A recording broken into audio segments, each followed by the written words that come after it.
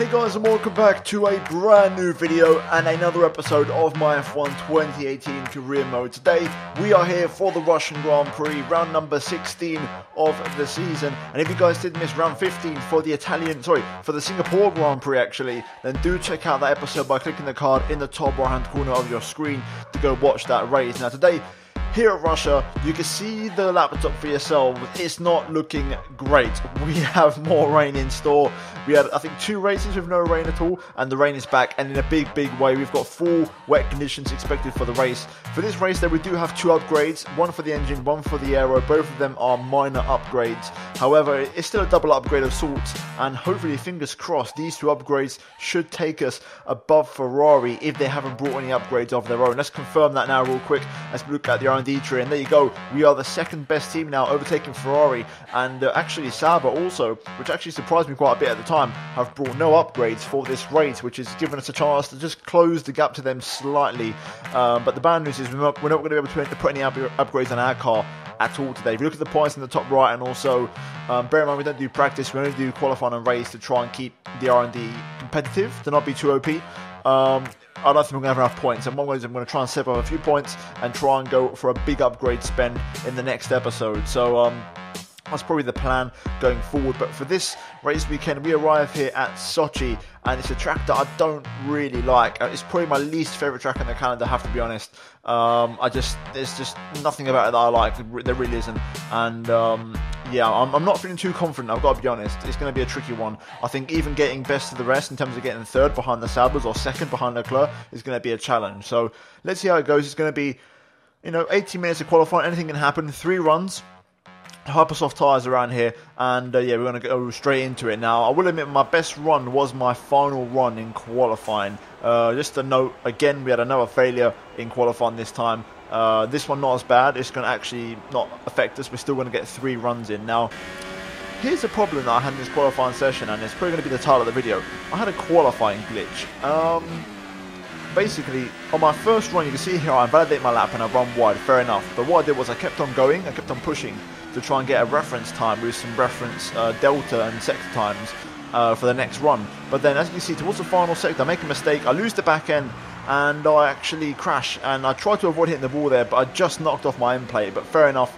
Um, I thought, okay, I'm just going to come in then because I've, I've lost, I've ruined the lap, so I'm not going to be able to uh, get the reference delta time. So I came to the pit lane, um, which was fine. You know, I've got no problem with that. That's fair enough.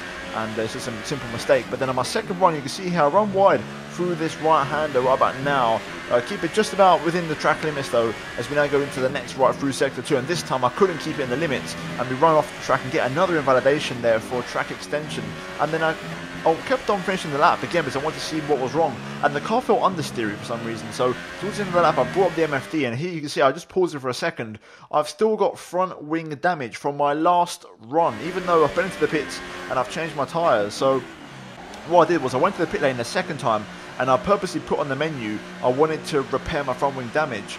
I came in, I went back out on another set of tyres, and I've still got front wing damage on my final run. So pretty much we are screwed. Uh, I've got to try and do qualifying with a damaged front wing because for some reason I can't seem to get a front wing change.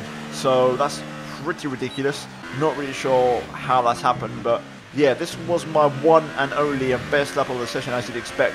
Uh, with 1 minute 15 o'clock to go, and it's going to be a handicapped lap with obviously front wing damage. So let's run on board and let's see if we can try and salvage something here. And uh, even with the damage, try and set a half decent lap straight away. For turn two, you're looking at the 100 meter board down to fourth, maybe third gear. You want to really get on these inside curves without extending or cutting to invalidate your lap time. Then flat out through the very fast turn three corner here, and now down towards turn four. It's all about opening up the line as much as you can and then bring it over to the apex. Don't run too wide, we just about keep it in the track limits there. And now sector one draws to a close. We go to sector two. Again, these corners are so tricky with the understeer on the front wing, and uh, I was really trying hard to not invalidate my lap time because it's so easy to just pick up the understeer with the, with the damage and run wide. You can see also uh, the lap's not been too bad so far. You know, pretty smooth, uh, straightforward, no real mistakes, and to the naked eye, it looks pretty good. But we are slow. We are pretty damn slow. I've got to admit, uh, the, the, pace isn't there. And as you can see, we're now on the back straight. So far, we've survived the middle sector, no invalidations, which is good. As we now go into the final and third sector of that, 1.3 down here on the pole time. As we now go through the probably the most trickiest sector because you need all that mechanical grip and downforce, and we just don't have that. You know, for the quick change of direction for the chicanes, the front end just isn't working for me and it's taking me so much longer to get through these slow corners here. And uh, we still keep the car on the track. No cuts and validations. Now a couple more corners to go here. Missing my apex a little bit there running a little bit wide.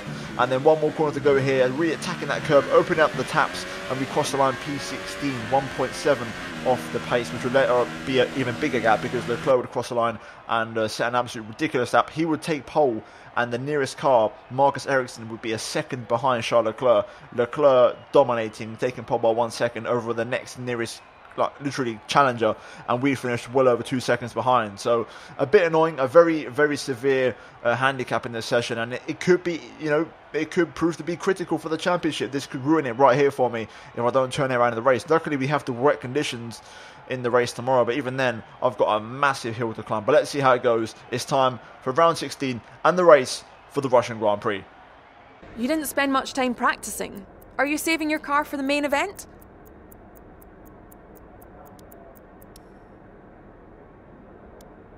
Were those faults a bad omen for qualifying and the race?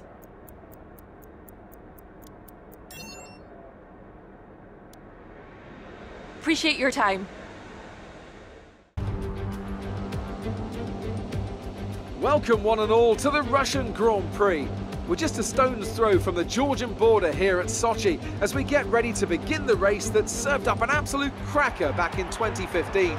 A last lap collision between Kimi Raikkonen and Valtteri Bottas sparked controversy in that race, so let's hope the racing is just as tight today. It's a 3.6 mile lap here at a rain-soaked Sochi Autodrome, where I wouldn't be at all surprised to see a safety car at some point during today's Grand Prix. 18 corners here, 12 to the right and 6 to the left. And turn 3 is a long double apex left that's virtually flat out in the dry. But we probably won't be seeing any of that today. Anthony Davidson joins me again for the race today. Let's talk about Martinez. They're starting towards the back of the field today in a car that is fast. So they'll be disappointed, won't they? They'll have a sinking feeling as they look up from the cockpit and realise they're in a different postcode to the start line for sure. But the one positive they can hold on to is that the car is quick and they can make their way through the field. Well then, after an exciting qualifying session yesterday, let's take a look at how the cars line up. Charles Leclerc lines up on pole position and Marcus Ericsson completes the front row. Looking down the rest of the grid we have Alonso, Vettel, Kimi Raikkonen and Ricciardo, Verstappen, Sainz, Hulkenberg and Sergio Perez, Grosjean, Ocon, Lewis Hamilton and Bottas, Gasly, Magnussen. They've taken a grid penalty, Martinez and Brendan Hartley, Stroll and Sergei Sirotkin rounds off the grid. Now it's almost time to lights out, so let's go down to the track. Right, here we are then on the grid. P17 at an absolutely soaked Sochi Autodrome. It's raining cats and dogs here, monsoon conditions, and the full wets are strapped onto every single car. Now, after yesterday's disaster in qualifying, we've got it all to do in the race, and I'm kind of hoping that my wet weather pace, you know, that I've had in some tracks where I've been really, really quick, kind of shines through today because we need a miracle. You know, Leclerc's on pole, and um, we're P17. The tracks that come up that are coming up after this race don't exactly suit me, so yeah, it's not looking good. So um, I was really hoping to win this race, even though I knew I didn't have good pace around here in the dry. The wet does give me a good opportunity, and I was hoping to qualify third or fourth, and then start the race in the wet, and then try and go for the win in the wet conditions, um, starting a lot further up. So we're gonna have to do it from a lot further back on the grid. Can we do it? We'll have to find out. Strategy's going to play a key part, whether it's a one stop or a two stop. Um, you can see on screen the game's even saying to just not do any pit stops at all. So we'll see how that one pans out. Fuel wise, I'm taking a big, big risk. I am running the lowest possible fuel, aka 2.2 laps less. Very, very light, as light as I could possibly be for this race. And hopefully the car will just save fuel as the race goes on because I'm going to try and be super light at the start, be really aggressive, and make up those positions straight away. And hopefully, the light car really does pay off, and uh, we can make up those places. And later on, we can try and save fuel later on in the Grand Prix. But with that being said, we're going to jump into it here and let's see how the race goes. It's a massive challenge. If we turn this around, it's going to be a miracle. But uh, you know, miracles can happen, and I'm willing to try and chase it down. So let's get into it. It's time for round 16, the Russian Grand Prix. Let's go. Right, here we go. Let's build up the revs and get ready for the five red lights here at Sochi. The lights are on and they are off. And away we go here. Wow, there's so much spray. Visibility extremely poor. Conditions extremely poor as well. There's been some contact there through turn one. You can barely see though. I've got Stroll going around my outside here. We're going to go down the inside of turn one. Very late on the brakes. Down the inside of multiple cars. We're going to get pinched by Ocon, but we're going to get the move. And there we go. Five places gained. Very good start. Lunging the car down turn one. I'm going to make an adjustment to the brake bias, put on 54, a little bit more to the front because I don't trust my rears. Look how poor the visibility is though. I can barely see the apex. Literally, I can't even see the next corner. We can use lean mix for now whilst we're stuck in traffic. It's a good opportunity to uh, get fuel on target early on. But that's already paid off. P12, great start. Really, really poor visibility. I can't see a damn thing. I can't see where the apex is, which is kind of stopping me from pushing really as much as I'd like. But that's okay. We'll just, you know, follow the car in front. A bit wide through there. Got to be careful. This is really challenging. I've never seen such dense spray before. I've got a mod on which uh, makes the spray a lot more than what it is in the game by itself. But even with the mod, I've had this mod on for like literally months now, and I've never seen this amount of spray. This is something else. This is. So uh, either way, we've saved a bit of fuel already on the two lap mark, but now we're going to try and uh, leave it in standard and actually use the lighter car to our advantage and hopefully we can use some ERS to really get past these guys. Obviously we had an ERS upgrade for this race so hopefully that will pay off. But for now I just need to wait for the opportunity here and a chance to maybe go down the inside of someone because right now visibility is just so so poor. Back end feels very loose on the car as well. So I gotta give the back end the respect it deserves. But anyway, lap one draws to a, clo uh, to a close. Leclerc setting the pace up front, which is uh, to be expected as we clip that bollard. Good exit out the final corner, actually. We're going to get the run on Grosjean. We don't really get the toe, though. Grosjean gets the toe from Sainz, so we're going to have to dip back in for a second helping. Can we get past the Haas down towards turn one? To be fair, he's holding decent straight line speed.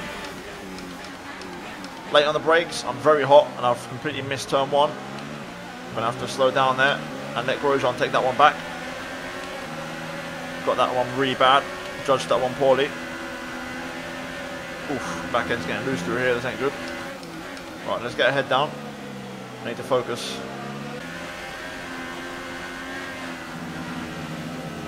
Oh my god, the car gets so loose through turn 3. The AI can go flat, which is really annoying because the AI have inbuilt traction control, so they can go flat through there. We're nowhere near flat. Right now, Ericsson's holding up a train for second place. You can see there's a pretty long train there, battling for second, so Obviously the Leclerc doing what you'd expect them to do. But uh, we can start making our way past these guys and that'd be great. But at the minute I'm kind of similar place to Grosjean if I have to be honest with myself. Right, another personal best. Still pretty much 1.7 off Leclerc setting the pace. However, I've made a few tweaks. Differential down to 50. I was trying to open up the differential a bit. Brake bias. I've changed from 52 all the way up to 56 to have a bit more front end braking. And I've actually requested a front wing change for the next pit stop. So I'm going to go down from level 4 to level 3. Now, you might be thinking, why have I gone less? And the reason being is because I want more stability on the rear end. So I'm going to take away a bit of front wing to have a bit more of um, contrast between the front and the rear end. That should give me a bit more stability in turn on the back end when it comes to attacking corners, which is kind of what I'm lacking at the minute to really find the lap time that I need. Okay, the adjustments seem to be working found a lot of pace in that final sector. Leclerc just set a 46.9. So we're starting to catch up to his lap times and we're starting to put the pressure on Grosjean once again here. Also starting to really pull away from Ocon behind. But looks like we're starting to feel confident again. Starting to get that confidence in the wet conditions. It's taking me a little bit longer than I would have liked, but we are getting there. Grosjean runs deep into turn two. It's a poor exit out of turn three, although through here, I just cannot match the AI for grip and traction. They just, with traction control, they keep it flat pretty much, and I can't keep up. But we are starting to build the pressure now behind the Haas of Grosjean here. And the Frenchman's starting to see me just about in his mirrors, even though there won't be much visibility there.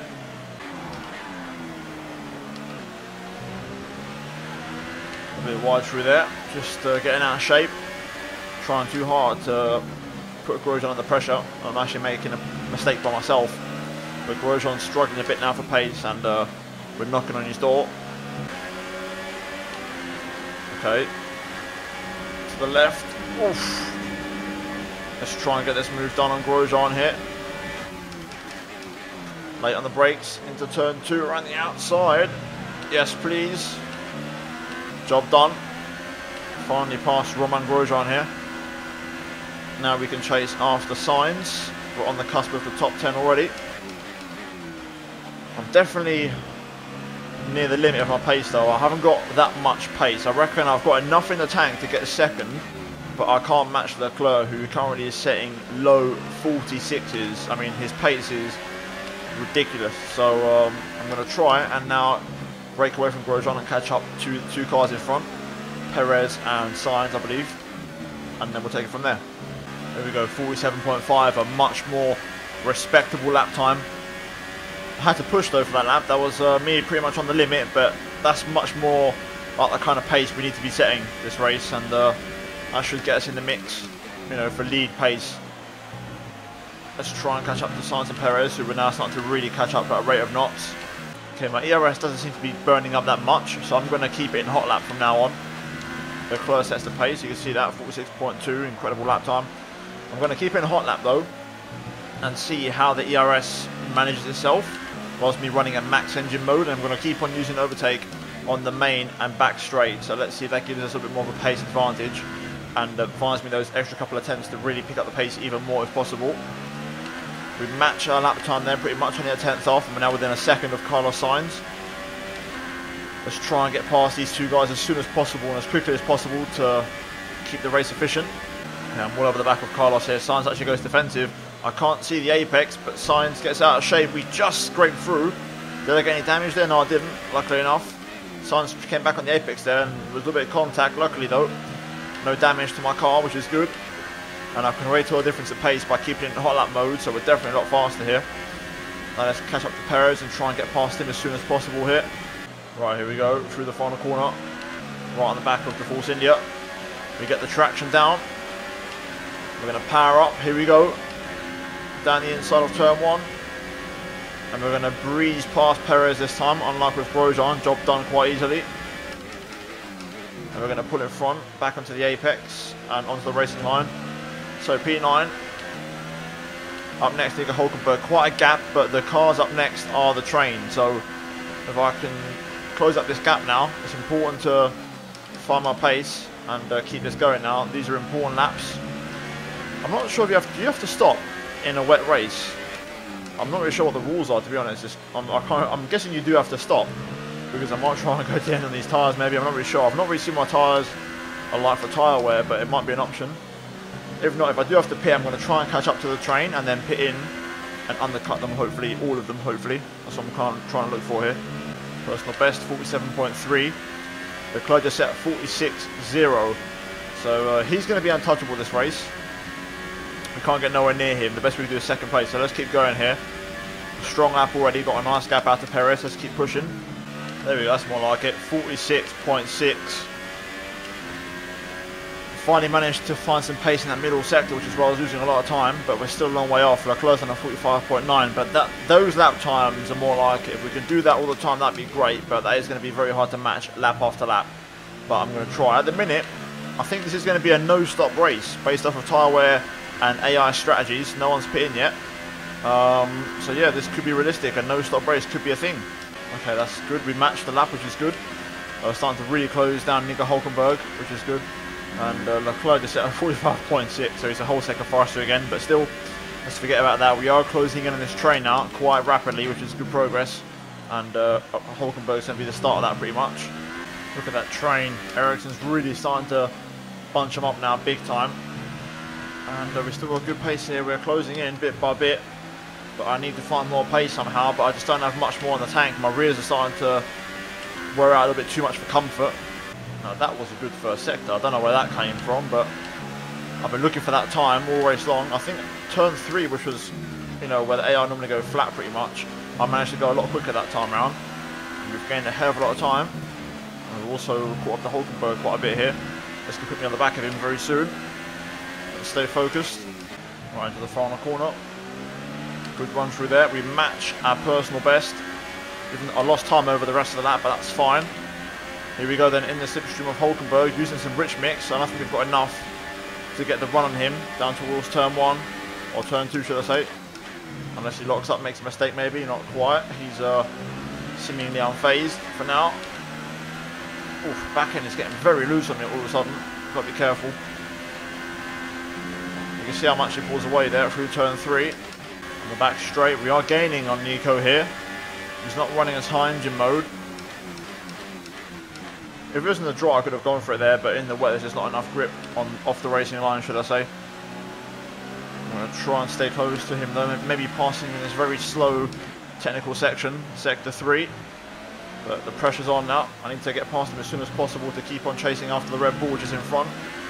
We're making good progress. The, the, guys in front, the train is starting to pick up pace. Ericsson's starting to pick up the pace and starting to break up that train a little bit. So it's important to get this move on Hulkenberg done so I can pull away and chase after it. Good traction there. A little bit sloppy on the second half, but we are going to get our nose alongside Hulkenberg. There we go. We're going to power past. Come on. Give it to me. There we go. I'm going to just edge in front. I'm locking up. I'm running deep. Into to slow it down. There we go. Just about got that on, on under control we now go through the tricky turn three. I keep on wobbling, but we've got this under control now. Let's try and pull away from Hulkenberg and chase after Max Verstappen. Personal best, there we go, 46.2. Leclerc sitting low 45, so we're kind of matching what he does, but we're a second off, if that makes sense. But as he comes down lap time, so do we. I think that's just fuel burning off as well, but I mean, we're showing good improvement here. And we're closing in on Verstappen. You can visibly see how close he is now. I want to try and get past him as soon as possible. Another personal best. Having to use a little bit of lean mix now in the final sector to get on target for fuel coming into the race. I think we will be able to get Verstappen, but after that I don't think we're going to be able to get his team. I think his teammates are a little too far away, unless we somehow find more pace and the guys in front slow down even more.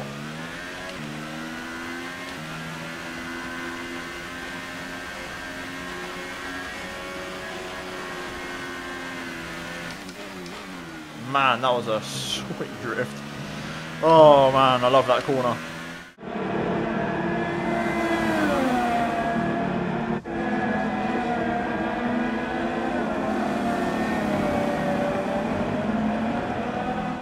Down to a 46.1 now, I'm on the limit, not much more to give. I can maybe dip into a 45, but we are really struggling now and uh, Verstappen's just not coming to me that quick purple final sector actually. 46-0. I'm also starting to run pretty low on battery now, so I've got to be careful. I've got to try and manage it a little bit.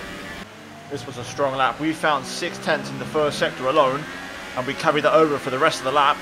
A 45.3. The closest set a personal best and a fast lap of the 44.7. I mean, that's right up there with the best race pace you could possibly do. I'm about to run out of ERS though, as we close in on Verstappen here, so let's try and size him up for a move. Right into the final corner here. Can we get a bit of traction down and get a run of Verstappen potentially? Let's see what the Red Bull's like for straight line speed. Two laps to go. Let's try and put Max under some early pressure. We are gaining here. I think we've got enough. Had a look. Max goes defensive. It's a little bit hot on the brakes. We slip underneath. We just avoid front wing damage. And the move is done. And we are now P7 in the Russian Grand Prix. Nice little move there. Hate that corner now, I really do. My tyres are gone on the rear. Let's bring this one home. One and a half laps to go. I'm going to try my hardest to catch up to Ricciardo, but I don't think we've got enough. Right, well, Charles Leclerc wins. We're going to bring this one home.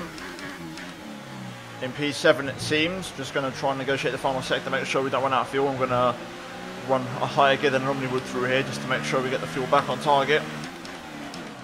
All I can hope for is maybe a couple of penalties here or there, but we did close down to Ricciardo quite a bit to be fair on that on those last two laps, but not enough. Alonso's going to get a podium, which is good. His first podium of the season, I believe, and his best result of the season, P3, so fair play to him. As we try to get past Sergei Sirotkin here, I'm kind of getting held up an absolute treat. I'm going to eventually get past though, make the move, there we go. And P7 for us in that race, just considering we started from P17. It's a good recovery, good pace, just a shame we didn't qualify better due to the glitch. Brilliant stuff from Sauber today. What a superb victory. So, Ant, how exactly did they set themselves apart from the pack today? Well, they clearly have a car that comes alive in the kind of conditions we were dealing with today. It's a very balanced package in the wet, and what that means is that the drivers have confidence to attack having that confidence gets you on the power earlier, it lets you brake later, and can put you a long way up the road. Looks like they're on their way out to the podium now, and what a result this is, and what a popular one with the crowd as well. Great stuff to see the Sauber team on top here today.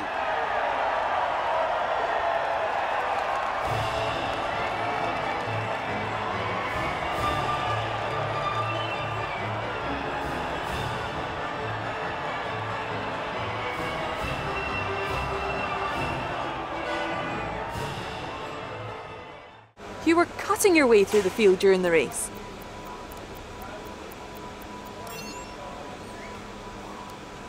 Did you feel comfortable in the wet weather today?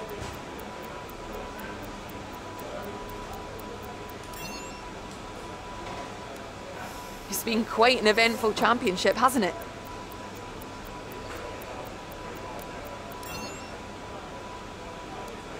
Do you think you were lucky not to end your race with that crash?